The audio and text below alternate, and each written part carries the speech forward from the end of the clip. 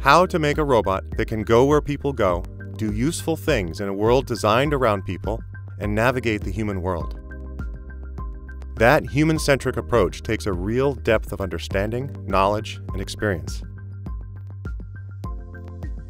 It's one thing to build a robot that looks like a human. It's far more challenging to build a robot that moves like a human and captures the same physics to enable the same performance. Human centric robotics is challenging because our space is relatively unstructured compared to being able to design the environment around the robot. And so as robots get a little bit more intelligent, that's certainly a really necessary piece of it. But the other piece of it is the physical interaction. When you build a robot that's able to go where people go, that's something that agility has really pioneered and excels at.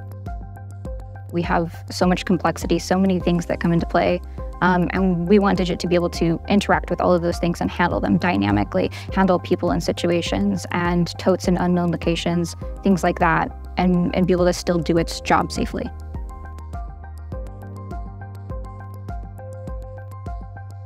This new iteration of Digit is a culmination of over two decades of research and development.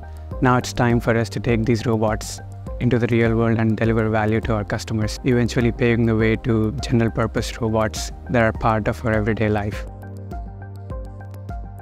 Our dream is to build robots that free us from robotic tasks, that enable humans to be more human.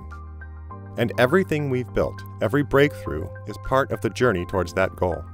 And that's where Digit is going. Digit is made for work.